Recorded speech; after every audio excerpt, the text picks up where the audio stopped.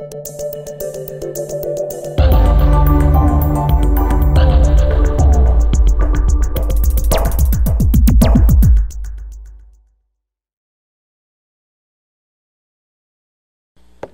bowed, eyes closed.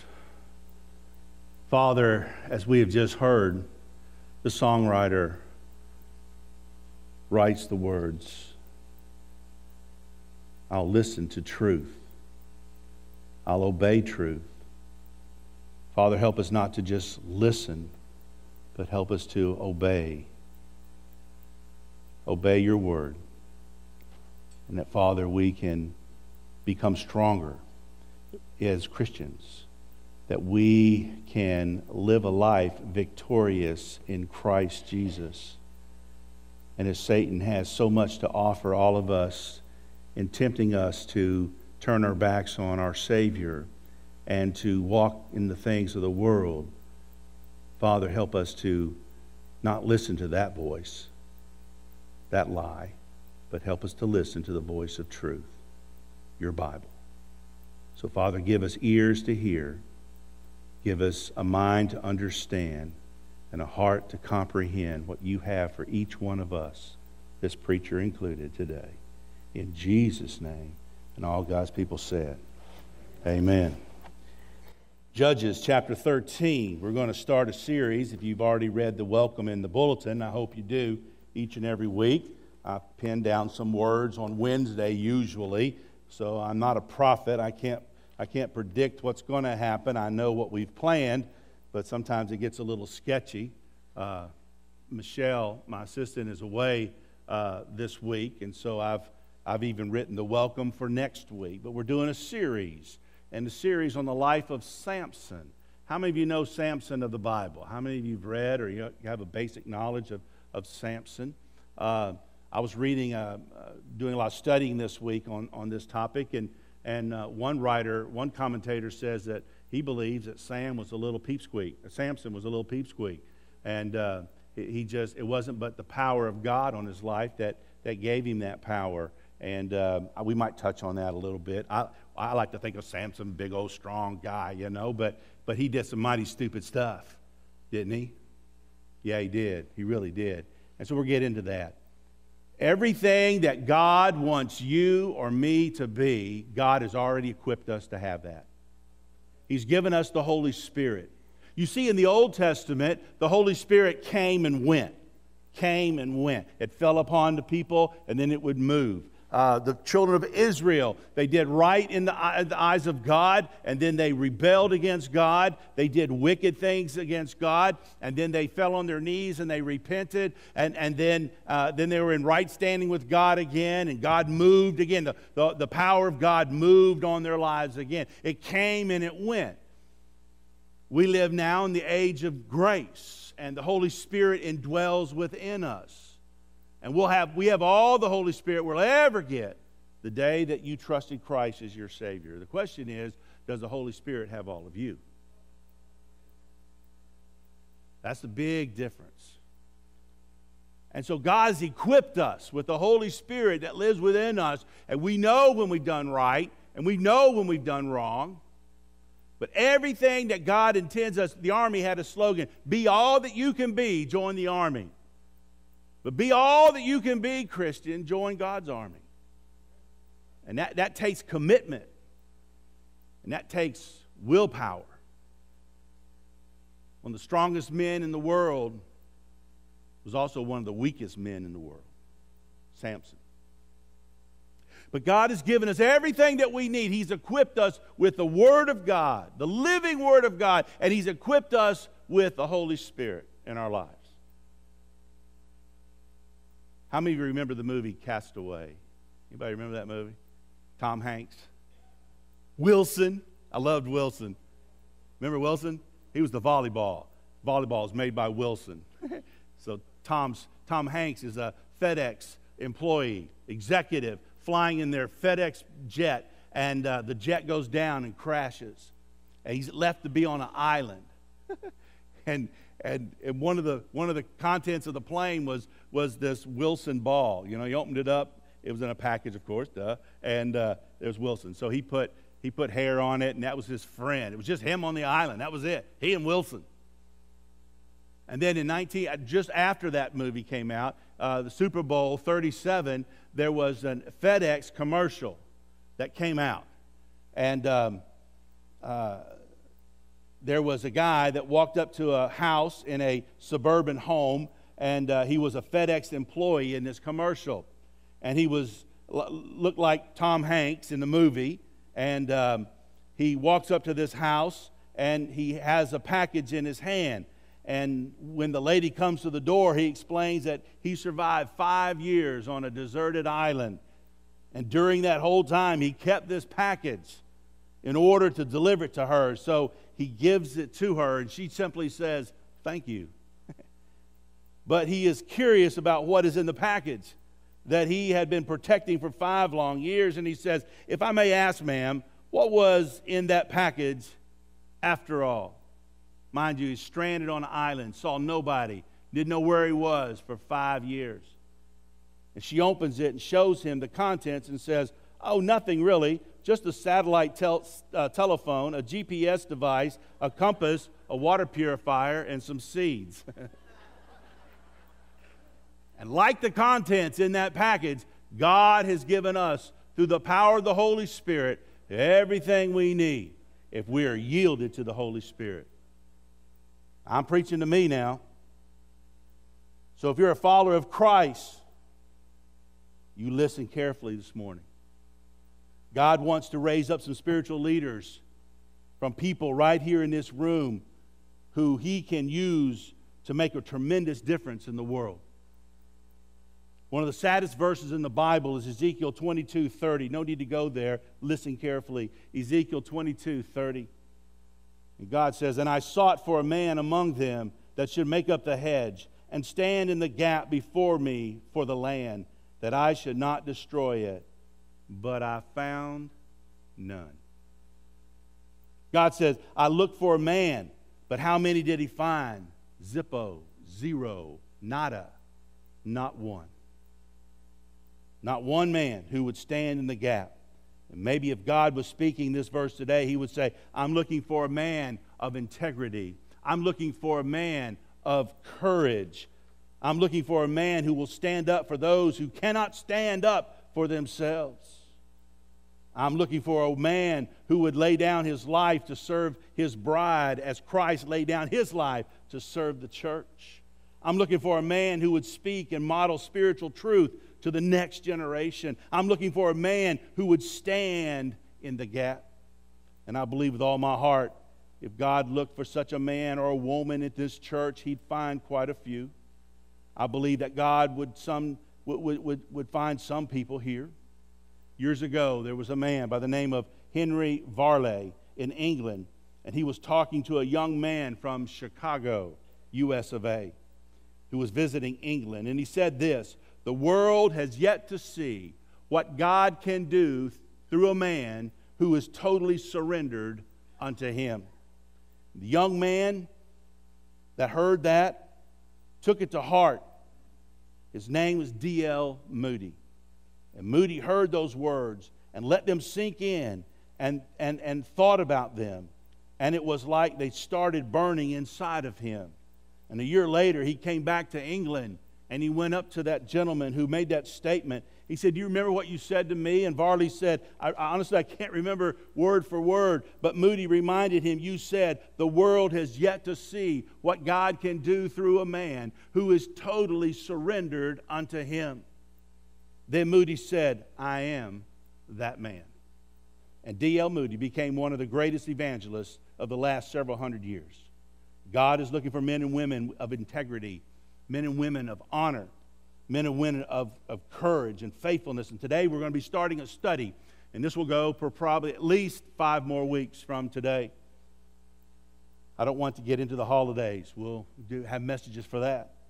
But if you want to read, and go ahead and read ahead. It's, uh, I've told you to turn to chapter 13 of Judges, and uh, you go home this afternoon and read 13 through 16 and see the life of Samson. Samson's accomplishments are amazing, but, but all the time, uh, uh so are his weaknesses. He was a very strong man, when God's power was upon him. Old Testament, remember now. But when he walked away from God, he took his eyes off of God, he looked to self, then you can see the power of God removed from his life. Some of his accomplishments are amazing. In fact, he's a lot like us. Samson had so much good God given potential, and yet again and again he made bad decisions and pretty much self destructed. He was a man with lots of potential. I've given you my definition of potential, have I not? You ladies can put on Merle Norman, Mary Kay, Avon. You can look good and smell good. Us men, if we're ugly, mm. That's it. That's it, Rob. We just ugly. But we're men, so we're used to it. That's it. So these two beautiful girls were walking out of this fancy restaurant in Orlando, beautiful restaurant.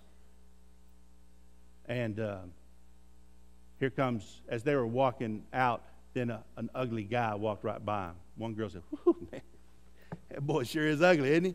The other girl said, man, he's bone ugly. Boy, he's ugly. And he went out, and the valet brought in a, a brand new Porsche. And he got in that Porsche. And one girl said, He might be ugly, but he got potential. and every one of us, we've got great potential. We'll follow after God. God has given him, just like you, uh, so much potential to make a difference in his life. And yet, again and again, he made poor decisions. In fact, it, it, if I would summarize his life in one statement, Samson was an incredibly strong man with a dangerously weak will.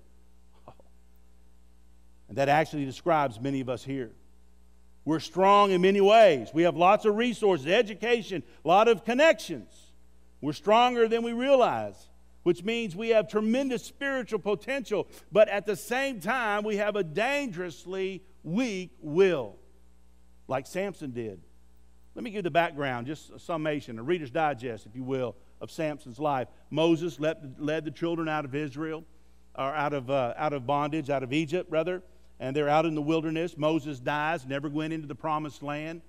And so then uh, Joshua leads the people into the promised land, and they, uh, they conquered the land. They lived there, but eventually Joshua, he dies, and the people turned away from God, and because of that, God stopped protecting them and blessing them, and so various enemies were able to conquer them.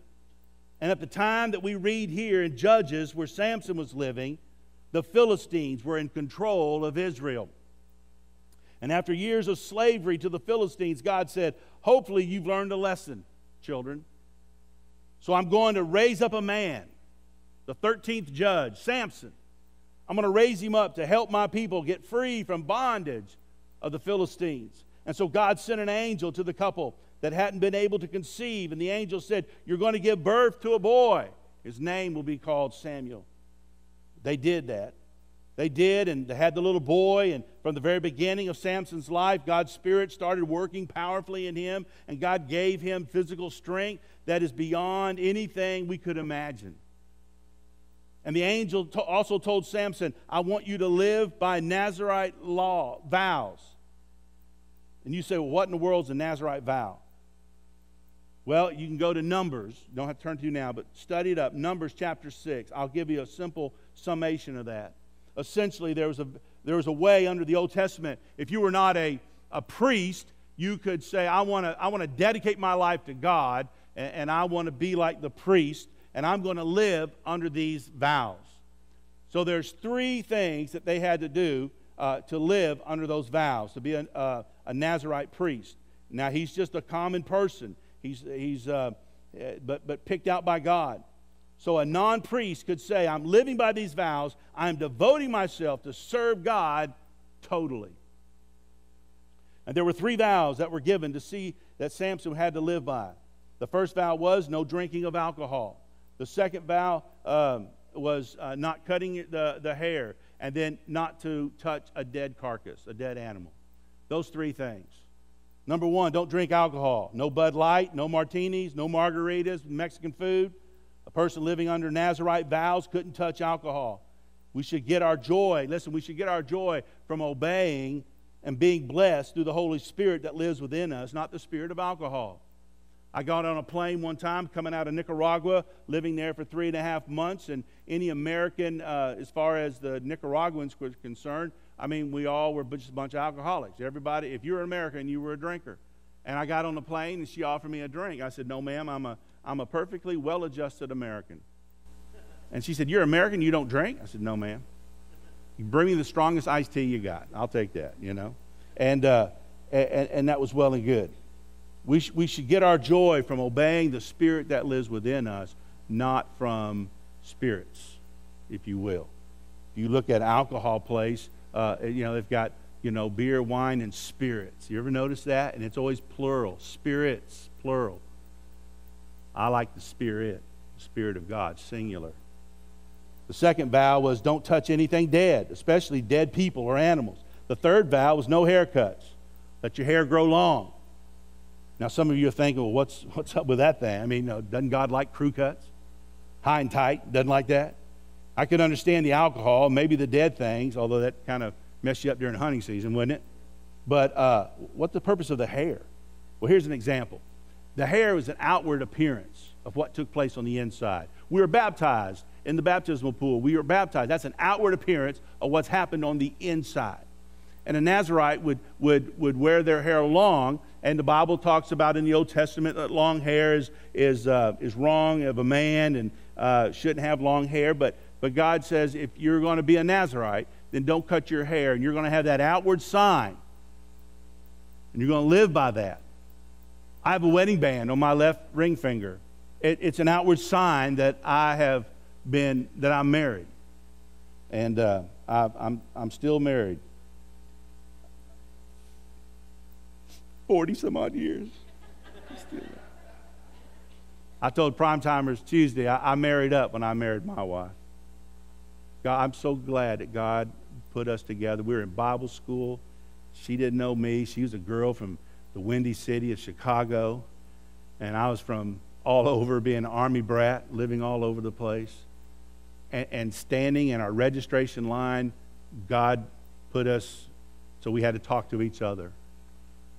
I still carry in one of my several Bibles, one of my Bibles that I had in Bible school. I, inside of it is still a, an empty pack of peanut M&Ms. We sat next to each other. They seated us alphabetically in our class, and my last name, of course, is Porter. Her last name, her maiden name's Reese.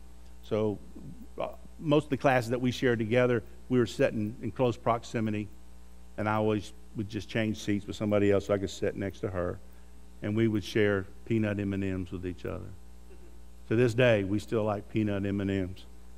I have eaten my weight in peanut M&Ms. I'm telling you that. But this ring is an outward appearance of what, what's happened that I'm married. I'm committed to my wife, Rebecca.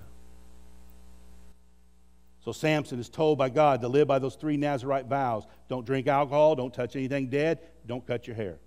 And because Samson is set apart for, for God, God gives Samson amazing strength. Listen to this. he battles a thousand Philistines, uh, men by himself. He, he ripped apart, he took apart a lion, just ripped it with his bare hands, took it apart. Merciful Georgia. He carried a gate. We'll talk about that later on in the weeks to come. He carried a gate. He just removed the whole gate and carried on his back for about 40 miles. It weighed anywhere from two to 4,000 pounds. Hello, that's a ton or two tons. This guy was, was when the power of God was on his life, is a cra- it's amazing strength, supernatural strength. And yet, with all of this God given potential, his weak will got him into trouble again and again. We're going to watch Samson betray God for a handful of honey. We're going to watch as the tempter gets the best of him and he kills 30 innocent men because he lost a bet. Wow, what bet was that? We're going to watch as he lusts for women and gets himself in trouble time and time again. And had so much potential for greatness, and yet again and again he squandered that potential with stupid living. How many people have you seen that really uh, are aggressive at work? I mean, they're type A personality. Boy, at work, they're barking dogs. They're a leader on steroids. But then when they get home, they become a little mouse. And they don't lead their family the way they ought to lead their family. They're committed in one place and uncommitted where it matters the most. How many men have you seen that are committed to their finances, their career, their hobby, and yet they can't commit to a woman, or a woman can't commit to a man? What's up with that? I know men that'll spend hours researching the best rod and reel, or the best set of golf clubs, or, or what's the best kind of TV to buy. They'll spend hours watching sports on TV, but won't spend five minutes reading God's Word so that they can grow spiritually. Other men truly love God and truly do love their wives.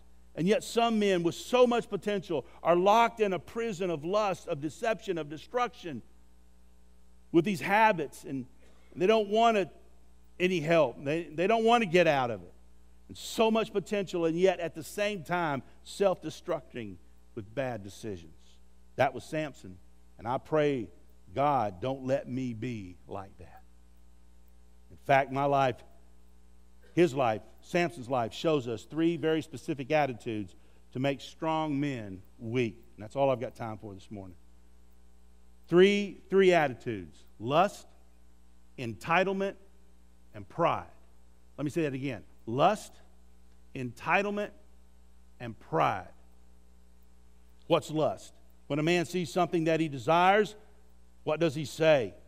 He lusts after it. he says, I want it, got to have it, going to get it. You men in this room, got to put a little growl in your voice. Repeat after me when I say these, those three statements. I want it. Oh boy. oh boy. Come on now. I want it. Got to have it. Going to get it. Arr. All of us had to, to deal with that. We see something, we want it, we want it now. Here's Satan's philosophy what's thine is mine, and what's mine is mine. That's a, what's one of the philosophies of Satan. What's yours is mine. I want it. And what's mine is mine. Uh uh You see that when your grandkids, or you see that with your children. For me, it's grandkids now. I give one of them a sucker, and they go in the other room. Little Pepe says, I want a sucker. And little Jay says, No, it's mine. Where did he get that? We're all born sinners. I've never seen a kid say, Well, sure, darling, here's my sucker. You can have it, you know. No, that dog doesn't hunt. What'll happen is a man who wants something like that, who slips into the pattern of lust, he or she forgets about all logic. Maybe he wants a, maybe he wants a woman or maybe a, a quick fix and he's got a habit, an addiction. But whatever it is, when he wants it, he forgets about logic because I want it, gotta have it, gonna get it. We see Samson do this. Turn with me to Judges chapter 14 and look at verse number 1. And Samson went down to Timnath and saw a woman in Timnath, the daughter of the Philistines. And he came up and told his father and his mother, and I've seen a woman in Timnath of the daughters of the Philistines. Now, therefore, get her for me to a wife. This commentary says he had to be a little wimp, a little shrimp. I mean, he wouldn't even go talk to her. Mommy, daddy, will you please go get her for me? You know? And so, I don't know, maybe that was the case. It just blows my, my image of Samson, but anyway, it's wrong image, isn't it? Samson went down to Timnath. He saw this smoking hot young Philistine woman. Oh, I read that between the lines anyway. He had a problem with lust. He was a sucker for hot women. Verse 2, and it says, And it came up, and he told his father and his mother, Go down there and, and get her for me. You hear what he's saying? I want it, got to have it, going to get it. Now, what's he going to do here? Even though the Philistines had conquered Israel, the people still lived separately. That's what's going on. Okay, it's like I, I, if you've ever been to, uh, I've never been to San Francisco, so I've never left my heart there. But I understand that in, well, I've been to Toronto. I've been to uh, uh, other big cities, Chicago and, and, New York City. Been New York City. New York City, they have a Chicago, um, Chicago they have a Chinese town, okay? And, and, and that's where all the Chinese hang out. And, and, and then they have uh, an element where all the uh, folks from, um, from Europe, where all they hang out. And even though the Philistines were in control of, of, uh, of, of, Israel, uh, they still lived separate from each other. And, and, and uh, Samson's hometown was west of Jerusalem. And he goes about four miles into this town and he sees this woman in, uh, there in Timnah and he uh, across the border. And there was, when he saw the woman, that was forbidden to him because God had told the people of Israel, don't intermarry with people who don't worship me. Now, you listen. I've had many people ask if, if I would marry them. Number one, I take marriage very seriously. Um, this one lady that I knew for quite some time, uh, I knew her family, and, and she said, Would you marry my, me and my fiance. I said, Well, I'd like to have lunch with him and with him, and I'd like to ask him a few questions. And then we'll go into premarital counseling. So we're eating at a nice restaurant, and uh, he is sitting on one side of the table, and she and I are on the other side. And I asked him, we had small talk, and uh, he was very familiar with. Uh, the, the, uh, we were eating uh, Thai food. He was very familiar with Thai food, and it was really cool. He travels the world.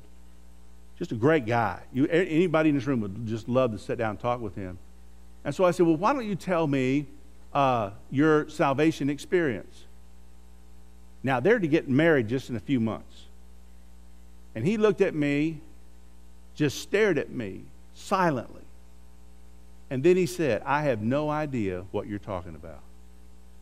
And I'm thinking in my brain, this lady is about to marry a man that's not even a Christian. She's a Christian, but he's not a Christian. And so gave him the plan of salvation. Long story short, he makes a profession of to accept Christ. Marriage didn't last a year. Didn't even last a year.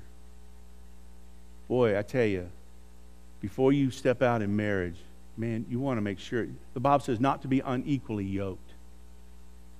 And I, know a lot of ladies will say, "But Pastor, I can, I'll change him." Hmm. I can give you story after story about that. And so you got to make sure that you're equally yoked. And so God says, don't marry somebody that's not worshiping me. And the Philistines were not. They were not worshiping God.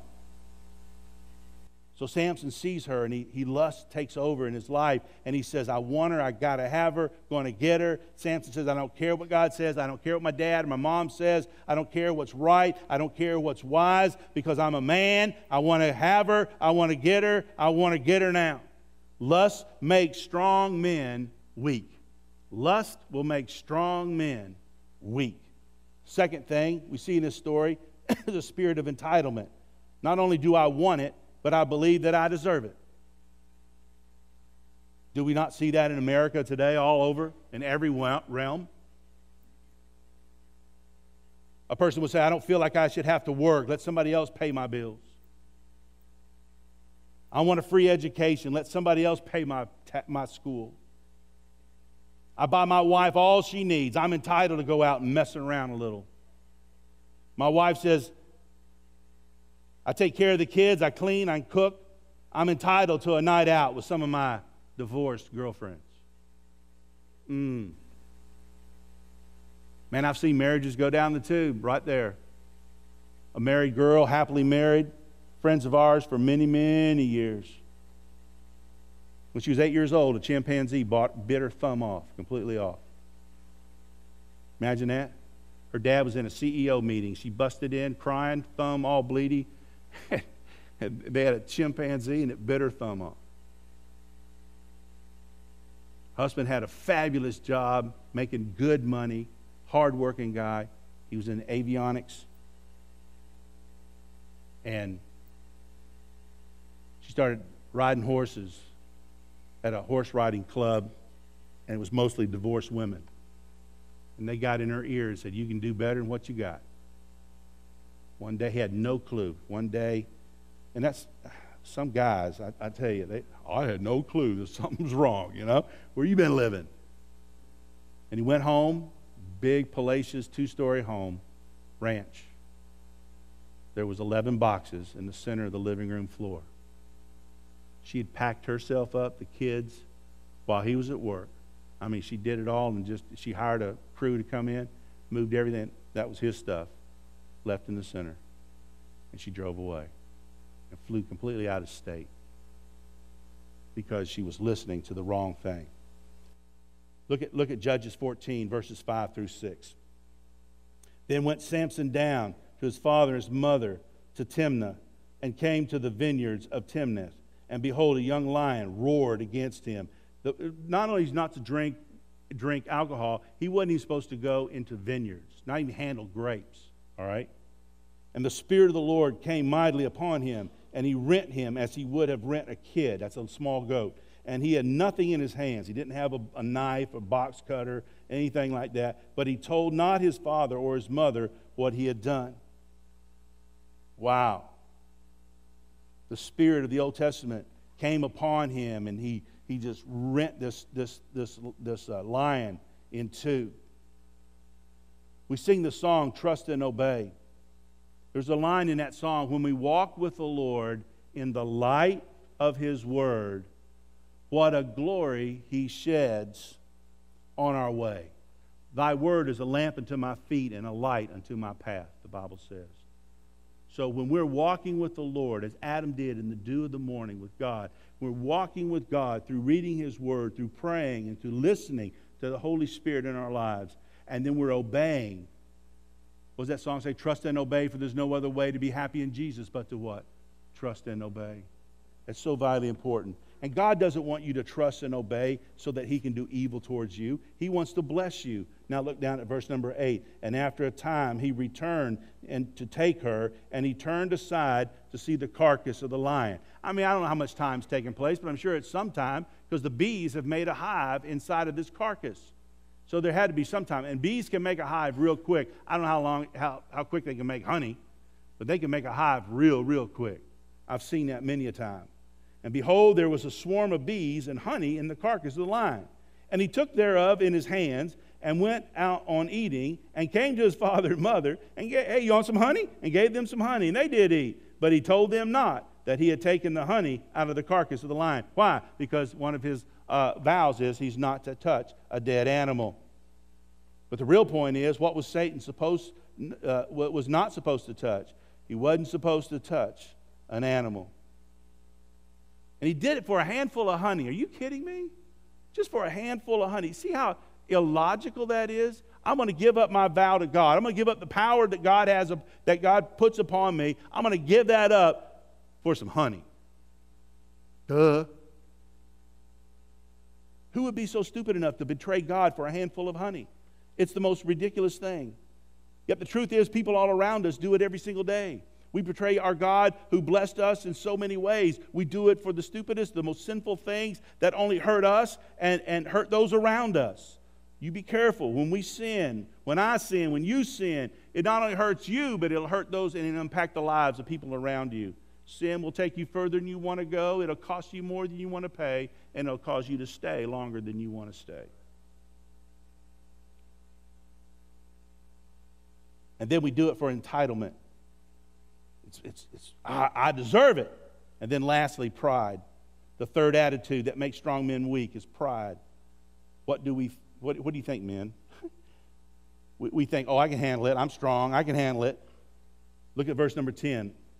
So the father went down into the woman, and Samson made there a feast, for so used the young men to do it. Let me tell you about this feast. This feast was nothing but a keg party. The word feast here in the, in the, in the, in the original, in the Hebrew, is mishteh, M I S H T E S, H. The literal meaning is a drinking party. It wasn't some sit down formal uh, bachelor party. It was, as I said, it was a kegger. Now hold on. Those three vows not to cut the hair, not to touch a dead animal, We hadn't even touched on hair yet. And then it was, it was don't drink alcohol. So he purposely has this drunken party. So next Sunday, we'll see what Samson gets himself into in this drunken party. The Bible tells us that the wages of sin is death.